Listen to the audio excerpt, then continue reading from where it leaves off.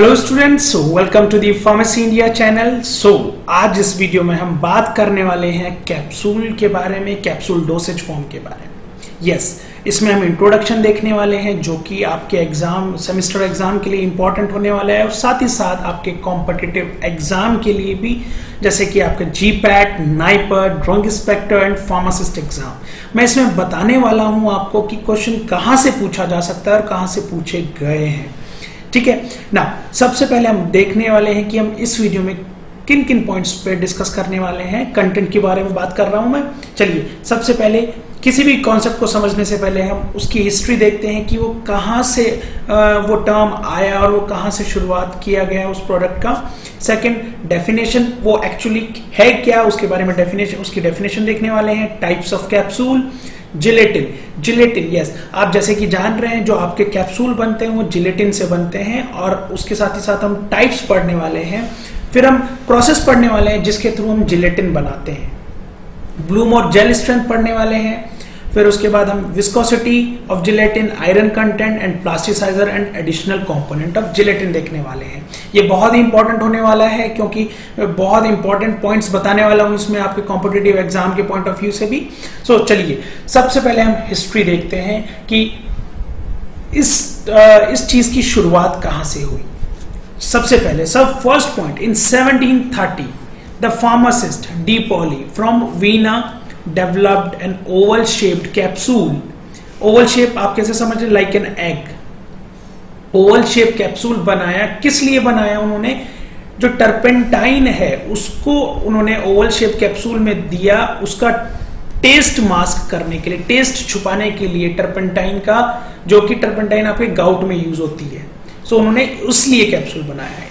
फिर in 1834 pharmacist Joseph ने from Francois Mothes were granted patent 1834 में एक फार्मासिस्ट थे जोसेफ उन्हें, उन्होंने एक पेमेंट पेटेंट लिया, जिसमें एक एक मेथड था for the producing single piece olive shaped gelatin capsule which were closed after filling by a drop of concentrated warm gelatin solution एक मेथड पे पेटेंट लिया, जिसके अंदर जिलेटिन के अंदर एक वार्म कंसंट्रेटेड सॉल्यूशन फिल करने के बाद उसको सील अप करके उस मेथड पे उन्होंने पेटेंट लिया। फिर थर्ड पॉइंट में क्या बताया गया है? In 1846 the Frenchman Jules Lehuby first to suggest two piece capsule two piece capsule बनाया गया। किस मेथड से? By dipping silver coated metal pins into a gelatin solution and then drying them quickly एक जिलेटिन सॉल्यूशन लिया Frenchman Jules Jules ने। Gelatin solution में एक silver pin dip किया। उसको पिन को डिप करने के बाद उस पिन को उन्होंने ड्राई कर दिया। फिर उस, उससे उन्होंने टो पीस कैप्सूल बनाया। उस, इस मेथड से। फोर पॉइंट में देख लेते हैं। In 1931 the Arthur Colton design a machine एक मशीन डिज़ाइन किया गया कॉल्टन के द्वारा। किस लिए? To manufacture bodies and caps and them and fitted them to form hard gelatin capsule आप मार्केट में देखते हैं देर एक कैप्सूल आपको ऐसे मिलता है जिसमें जॉइंट होता है। सो so, इसमें इसी मशीन के द्वारा बनाया जाता है जिसमें बॉडी और कैप अलग अलग बनाया जाता है फिर उसके अंदर पाउडर फिल करके फिर उसको जोड़ दिया जाता है to form hard gelatin capsule so ये था हिस्ट्री का। ना बात करते हैं इंट्रोडक्शन कैप्सूल क्या है आपका एक्चुअली क्या उसकी डेफिनेशन है? कहाँ से वो वर्ड आया? सबसे पहले समझते हैं। The term capsule is derive from the Latin word Latin word से आया capsula which means a small container एक स्मॉल कंटेनर उसका मतलब है जिसके आप कंटेनर जो अभी लेते हैं जैसे कि दिस इज़ योर कंटेनर आप उसके अंदर कुछ फिल करते हैं। सो so, इसी तरह से कैप्सूल भी आया एक term Now, the first capsule जैसे कि मैंने बताया from gelatin was a one piece capsule patented by in France by Motz and, and Dew, Blanc in 1834. Okay ना कैप्सूल क्या है? वो भी समझने की एक बहुत बड़ी ज़रूरत है हमें आगे बढ़ने से पहले। ना capsules is your solid dosage form capsule आपकी सॉलिड डोसेज फॉर्म है जिसके अंदर हम ड्रग और सब्सटेंस और व्हीकल्स एनक्लोज मींस बंद कर देते हैं विद इन हार्ड और सॉफ्ट सोल्यूबल शेल। हार्ड और सॉफ्ट सोल्यूबल शेल जो कि हमारी बनी होती है जिलेटिन से याद रखिएगा। सो so, ये था कैप्सूल का डेफिनेशन। ना चलिए अब इंट्रोडक्शन हो गया है अब बात करते हैं टाइप्स ऑफ़ कैप्सूल्स की। हमारे दो टाइप्स के कैप्सूल होते हैं hard gelatin capsule and soft gelatin capsule सबसे पहले अगर मैं हार्ड जिलेटिन कैप्सूल की बात करूँ हार्ड जिलेटिन कैप्सूल का जो डिसइंटीग्रेशन टाइम है इज़ योर थर्टी मिनट बहुत इंपॉर्टेंट क्वेश्चन है, पूछ लिया जाता है आपसे कभी कभी कॉम्पिटेटिव एग्ज़ाम में डबल स्टार मार्क क्वेश्चन है, याद रखिएगा। डबल स्टार मार्क क्वेश्चन याद, इसको लिख लीजिए आप।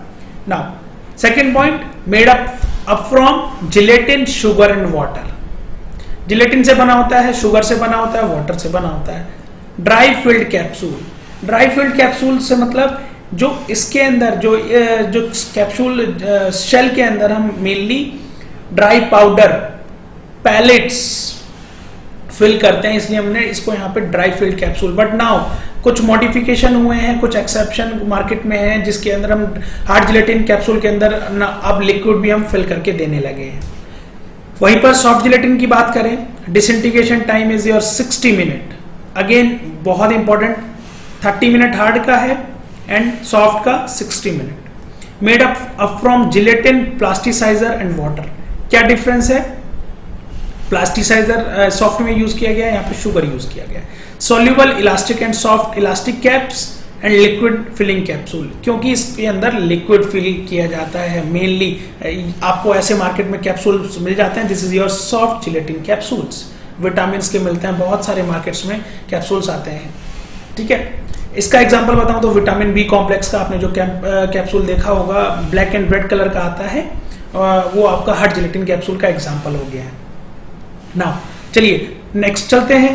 जिलेटिन के बारे में बात करते हैं। जिलेटिन मेनली आपका जो कैप्सूल शेल बना होता है वो जिलेटिन से बना होता है। सो so, अब जिलेटिन के बारे में भी जानना ज़रूरी है आपका जिलेटिन क्या है? क्या प्रोडक्ट है वो?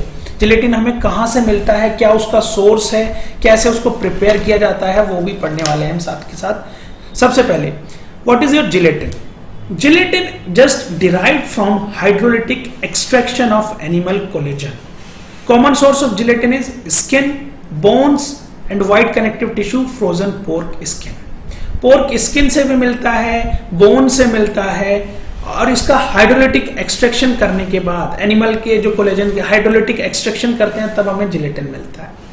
ठीक है? टाइप्स ऑफ़ जिलेटिन अगेन बहुत इंपॉर्टेंट क्वेश्चन पूछ लिया जाता है क्वेश्चन uh, आया भी है कई बार। uh, ये बहुत इंपॉर्टेंट होने वाला है इसको आप अभी लिख लेंगे। दो तरह का जिलेटिन होता है type A and type B type A को हम फार्मा जेल ए भी बोलते हैं, कैटायनिक, जिसपे पॉजिटिव चार्ज होता है। Pharma gel B is your anionic ना ये पॉइंट समझने की ज़रूरत है बाय एसिड ट्रीटमेंट और बाय एल्कली ट्रीटमेंट ये समझने का पॉइंट है। अब इस पॉइंट को मैं ऐसे बता सकता हूँ, जो हम जिलेटिन जब हम स्किन एनिमल का लेंगे उस एनिमल स्किन को एसिड से ट्रीट कराएँगे। सो so, इसलिए हमने यहाँ पे बाय एसिड ट्रीटमेंट बनाया बोला गया है। ठीक है by acid treatment skin is treated by acid. After that we will continue the process जब टाइप ए हमें कैसे मिलेगा? बाय एसिड ट्रीटमेंट से। टाइप बी कैसे मिलेगा? By alkali treatment alkali substance से ट्रीट कराना पड़ेगा तब जाके हमें टाइप बी जिलेटिन मिलेगा। Isoelectric point pH type A का नाइन होता है। बहुत इंपॉर्टेंट है, पूछ लिया जाता है, अब आइसोइलेक्ट्रिक पॉइंट क्या है? Isoelectric point is the pH at which a molecule carries no net electrical electrical charge. Electrical charge नहीं होता आइसोइलेक्ट्रिक पॉइंट उसको बोलते हैं, याद रखिएगा। ठीक है? टाइप बी का आइसोइलेक्ट्रिक पॉइंट कितना है? 4.7 इंपॉर्टेंट क्वेश्चन है, पूछा गया है डबल स्टार मार्क क्वेश्चन है, यहाँ से आया है क्वेश्चन याद रखिएगा, लिख लीजिएगा। ना ये फोर्थ पॉइंट ये है आपका रिसेंट डेवलपमेंट बात करें टाइप ए के रिगार्ड में pros processing of an acid bone gelatin जो टाइप ए है हमारा, एक उसमें मॉडिफिकेशन किया गया कि हमें एसिड बोन जिलेटिन से भी मिल सकता है, जिसका आइसोइलेक्ट्रिक पॉइंट पीएच 5.5 टू 6 होगा। ये मॉडिफिकेशन है। इसमें हमें type B from green bones green bone से भी मिल सकता है फ्रेश बोन्स भी बोलते हैं हम इसको। याद रखिएगा, बहुत इंपॉर्टेंट क्वेश्चन है। फ्रेश बोन भी बोलते हैं। ठीक है? ना सब अब देख लेते हैं process and manufacturing of gelatin बहुत इंपॉर्टेंट है। मैंने आपको बताया था, वो बाय एसिड ट्रीटमेंट वाला, वो इशू भी आपका मैं यहाँ पे क्लियर करने वाला हूँ। सबसे पहले, बहुत इंपॉर्टेंट जैसे कि मैंने बताया था आपको सोर्सेस ड्राई बोन सोर्स है काफ स्किन एंड पोर की स्किन ये आपके सोर्सेस हैं। बट अलग अलग ट्रीटमेंट है। ड्राई बोन को हम 5 परसेंट एस दस से 15 दिन के लिए ट्रीट करेंगे। कैसे? यही चीज़ मैंने बताया था by acid treatment type A में। सो आई आई होप आपको ये चीज़ें समझ में आ रही है। आफ्टर दैट फिर लाइम 10 परसेंट से उसको ट्रीट करेंगे फोर टू एट वीक्स तक। आफ्टर दैट जो लाइन से ट्रीट किया था हमने उसको रिमूव कर देंगे एंड देन पीएच एडजस्ट कर देंगे। ठीक है, ये कॉमन स्टेप्स हैं, वहीं पर काफ स्किन को वॉश करेंगे लाइन से ट्रीट करेंगे 10 percent six to twelve weeks तक वाटर से वॉश कर देंगे after that ten to thirteen hours तक छोड़ देंगे उसको। फिर यहाँ पे हम, यहाँ से हम कंटिन्यू करने वाले हैं। पोर की स्किन की बात करें इसको भी वॉश करते हैं। एसिड ट्रीट एसिड से ट्रीट करते हैं one to five percent strength रहती है एस की टेन टू थर्टीन आवर्स तक एसिड रिमूव कर देंगे वॉश कर देंगे फिर यहाँ से। These are the common steps फिर उसके बाद तीनों प्रोसेस में एक कॉमन स्टेप होगा हॉट वाटर एक्सट्रैक्ट एक्सट्रैक्शन के थ्रू फिर उसके बाद फ़िल्टर करेंगे vacuum concentration after that cool कर देंगे सॉलिड को जो हमें कूल मिले कूल uh, cool करने के बाद उसको एयर ड्राई करेंगे after that will mill to size size reduction करने के लिए मिलिंग कर देंगे, फिर उसके बाद हमें जिलेटिन मिल जाएगा। So this is the process and manufacturing of gelatin I hope आप समझ पा रहे हैं इस चीज़ को। सो नाउ प्रोसेस समझ लिया है जिलेटिन कैसे बनता है? अब बात करेंगे ब्लूम और जेल स्ट्रेंथ की। बहुत इंपॉर्टेंट टर्म है, पूछ लिया जाता है क्वेश्चन मैं बताऊँगा कहाँ से पूछा जा सकता है। ब्लूम जेल स्ट्रेंथ को पढ़ने से पहले हम इसको समझ लेते हैं कि ये है क्या। सबसे पहले। It measures the cohesiveness strength of cross linking between gelatin molecules bloom और जेल स्ट्रेंथ क्या मेजर करता है? कोहेसिवनेस कोहेसिव मींस जोड़ने की क्षमता, जोड़ना मॉलिक्यूल्स को जोड़ना of cross linking between gelatin molecules ठीक है? पहला पॉइंट ये बोलता है। सेकंड पॉइंट क्या है? Bloom strength is directly proportional to the molecular weight of gelatin molecular weight बढ़ेगा तो ब्लूम स्ट्रेंथ भी बढ़ेगा। इसका ये मतलब है, याद रखिएगा। ब्लूम स्ट्रेंथ को कैसे डिटरमाइन किया जाता है? बहुत इंपॉर्टेंट क्वेश्चन है, पूछा जाता है। क्वेश्चन मैं बताने वाला हूँ कहाँ से पूछा जाता है। सबसे पहले इसका एक प्रोसेस समझ लेते हैं। एक डायग्राम बना लेते हैं। This is the beaker and in this there is a gelatin solution gelatin है, कितने परसेंट है? Six two by three percent याद रखिएगा। ये मैंने इसलिए लिखा कि प्रोसेस में ही इन्वॉल्व है। जिलेटिन जेल है ये आपका। एक आपका ठीक है? Then this is your plunger इसको प्लंजर को आप मेंशन कर लीजिए यहाँ पे। एंड इसका जो टेम्परेचर है वो 10 डिग्री सेल्सियस है। याद रखिएगा। सो so, अब चलिए इस डायग्राम के थ्रू समझते हैं। डेफिनेशन देख लेते हैं डिटरमाइन कैसे किया जाता है। Determined by weight in grams required to move a plastic plunger. इसका मतलब कितना वेट रिक्वायर है इस प्लंजर को मूव कराने के लिए। दिस इज़ योर प्लंजर कि, कितना वेट लगेगा हमें इस प्लंजर को मूव कराने के लिए? कितना मूव करा point five inches in diameter इतना मूव कराने के लिए। फोर एम एम डीप मतलब चार एम एम डीप उसको करने में। This is four m m deep पहुँचाने में कितना हमें अमाउंट लगेगा वेट का। And that has been held at 10 degree Celsius 10 degree Celsius मैंने ऑलरेडी बता दिया आपको temperature 10 degree Celsius for 17 hours पूछ लिया जाता है यहाँ से क्वेश्चन कितने घंटे के लिए ब्लूम स्ट्रेंथ का जो डिटर्मिनेशन होता है क्वेश्चन यहाँ से भी आ सकता है। ठीक है? आई होप आपकी ये चीज़ समझ में आ गई होगी। नॉर्मली जो ब्लूम स्ट्रेंथ और जेल स्ट्रेंथ की रेंज होती है वो 150 टू 250 ग्राम होती है। पूछ लिया जाता है। बहुत इंपॉर्टेंट है। Double star mark question now next point that higher the bloom strength higher the physical stability of capsule जितना ज़्यादा ब्लूम स्ट्रेंथ होगा, उतना फ़िज़िकल स्टेबिलिटी होगा आपका कैप्सूल सेल का। Cost of gelatin directly proportional to bloom strength अगर bloom strength बढ़ी तो कॉस्ट भी जिलेटिन की बढ़ जाएगी, याद रखिएगा। Higher bloom gelatin are use to improve physical stability for large capsule जो मेनली आपका पोर्क स्किन होता है, वो बहुत हाईली एक अच्छा आपका कैप्सूल सेल बनाने में हेल्प करता है ट्रांसपेरेंट तो आई होप आपको स्टूडेंट्स ब्लूम और जेल स्ट्रेंथ समझ में आ गया होगा।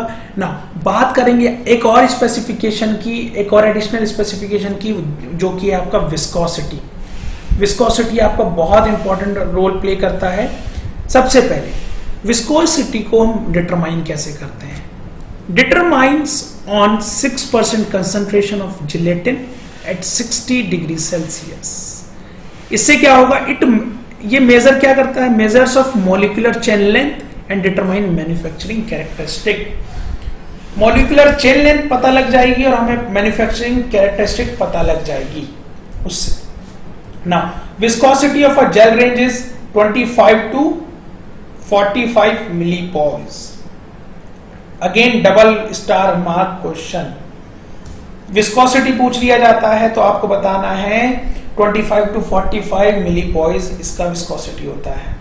मिलीपॉइज आपका विस्कोसिटी की यूनिट होती है बट जो इंडिविजुअल मींस ये तो प्रोडक्शन की लार्ज स्केल प्रोडक्शन बट कोई अगर इंडिविजुअल मैन्युफैक्चरर है, वो एक सेट करता है अपनी यूनिट रेंज करता है विस्कोसिटी की that is your 38 plus minus two this is your plus minus two millipoise for a particular type of gelatin किसी पर्टिकुलर टाइप की जिलेटिन जैसे टाइप ए टाइप बी के लिए। ना अगेन एक और बहुत important point low viscosity that is 25 से 32 millipoise high bloom that is 180 to 250 gram low viscosity है हाई ब्लूम है कैसे gelatin are use in conjugation with capsulation of hygroscopic hygroscopic मतलब जब हम किसी हाइग्रोस्कोपिक सब्सटेंस को इनकैप्सुलेट करते हैं, किसी जिलेटिन शेल के लिए अंदर बंद करते हैं और वो सब्सटेंस हाइग्रोस्कोपिक है आपका तो हमें विस्कोसिटी कम करनी पड़ेगी ब्लूम स्ट्रेंथ ज़्यादा करनी पड़ेगी, क्योंकि विस्कोसिटी जो हाइग्रोस्कोपिक सब्सटेंस है, उसकी वजह से हमें 50 परसेंट लेस वाटर यूज़ करना पड़ेगा for this satisfactory operation on the capsulation machine क्योंकि जब आपका हाइग्रोस्कोपिक सब्सटेंस है तो ऑलरेडी उसकी वजह से ही हमें 50 परसेंट कम पानी यूज़ करना पड़ेगा। ठीक है? ये एक एक्सेप्शन है, बहुत इंपॉर्टेंट है, समझना ज़रूरी था। Now next important point is iron iron जो होता है, वो आपका रॉ जिलेटिन में प्रेजेंट रहता है रॉ जिलेटिन में। और जो उसकी कंसेंट्रेशन है it depends on iron content of the large quantity of water used in manufacturing बहुत इंपॉर्टेंट पॉइंट है आयरन वाला भी। बात करते हैं, ये वाला आपका इंपॉर्टेंट पॉइंट होने वाला है that gelatin used in the soft capsule should not contain more than 15 ppm iron जो सॉफ्ट जिलेटिन कैप्सूल में हम जिलेटिन यूज़ करते हैं, उसके अंदर 15 PPM PPM is your parts per million parts per million से ज़्यादा नहीं होना चाहिए। क्वेश्चन पूछा जाता है, लिख लीजिएगा इसको, यहाँ से क्वेश्चन आ सकता है। आप मॉक टेस्ट में भी सॉल्व करेंगे, आएगा ज़रूर। प्लास्टिसाइजर प्लास्टिसाइजर क्या है, क्यों यूज़ करते हैं, वो भी देखने वाले हैं। जो हम सॉफ्ट जिलेटिन कैप्सूल में हम मेनली प्लास्टिसाइजर यूज़ करते हैं बहुत कॉमनली इसको कैसे यूज़ करते हैं, उसको भी बता देते हैं। मेनली जो प्लास्टिसाइजर हम यूज़ करते हैं मैंने ऑलरेडी बताया था प्लास्टिसाइजर हम हार्ड जिलेटिन में शुगर यूज़ करते हैं, उसी की जगह। पर हम जो प्लास्टिसाइजर यूज़ करते हैं, हम इसका एक पर्टिकुलर रेशो करते हैं। इसी की वजह से हम डिटरमाइन कर पाते हैं हार्डनेस ऑफ़ जिलेटिन शेल कैसे? The ratio of weight by weight of dry plasticizer to dry gelatin determines the hardness of gelatin shell, assuming that there is no effect from the capsulated material जो capsulated material होगा, उसका कोई effect ही नहीं होगा बस इसमें हमें weight by weight जो रेशो है प्लास्टिसाइजर की और जिलेटिन की, उसको ध्यान में रखना है। ठीक है? टेबल है, एक इंपॉर्टेंट टेबल है, उसी की वजह से हार्डनेस बताने वाले हैं। अगर यहाँ पे हार्डनेस है हार्ड मीडियम और सॉफ्ट और फिर रेशो की बात हुई है, यहाँ पे यूसेज अगर हमने पॉइंट फोर प्लास्टिसाइजर लिया वन जिलेटिन लिया तो हमारा हार्ड बनेगा। हार्डनेस ज़्यादा हार्ड होगा। यूसेज आप देख सकते हैं काफ़ी इंपॉर्टेंट नहीं है, पर है, आप पढ़ सकते हैं इसको। अगर हमें मीडियम बनाना है तो हमें जो प्लास्टिसाइजर है 0.6 लेना है वन हमारा जिलेटिन होगा। सॉफ्ट बनाना है तो 0.8 क्वांटिटी बढ़ गई वन हमारा जिलेटिन होगा। सो आपने एक चीज़ ध्यान दी है कि जिलेटिन हमारा सेम है बस अगर हमें हार्डनेस में डिफरेंस लाना है, वो प्लास्टिसाइजर की वजह से आ रहा है। Plasticizer plays an important role in the softness और hardness of the gelatin capsule so आप इस चीज़ को समझ पा रहे हैं आई होप ना नेक्स्ट बात करते हैं एडिशनल कंपोनेंट्स की, जो कि ये लास्ट है इस वीडियो का इंट्रोडक्शन का। सो आई होप आपको समझ पा रहे होंगे इस चीज़ों को। एडिशनल कॉम्पोनेंट्स को और कौन कौन से यूज़ करते हैं? मिथाइल पैराबीन और प्रोपाइल पैराबीन किस, कितने कितने पार्ट्स में? Four is to one part में। क्या रोल है? प्रिजर्वेटिव है। Colourants according to the F N D N C and drug and cosmetics water soluble dyes certified lakes pigments and vegetable colours alone so in combination use कर सकते हैं। Colourants है इसका। Purpose titanium dioxide ये percentage दिया हुआ है opacifier ethyl vanillin 0.1 percent flavouring for order and taste essential oils up to 2 percent flavouring for order and taste sucrose to produce tubal shell and taste and fumaric acid ये बहुत important है fumaric acid आप इसको याद रखेंगे। Fumaric acid क्या करता है? It helps in solubility and reduces aldehyde tanning of gelatin बहुत इंपॉर्टेंट है ये पॉइंट इसको डबल स्टार मार्क क्वेश्चन आप लिख लेंगे। So so this is all about this video I hope आपको ये वीडियो समझ में आया होगा. नाउ नेक्स्ट वीडियो में हम बात करेंगे hard gelatin capsule soft gelatin capsule के बारे में. So stay connected and thanks for watching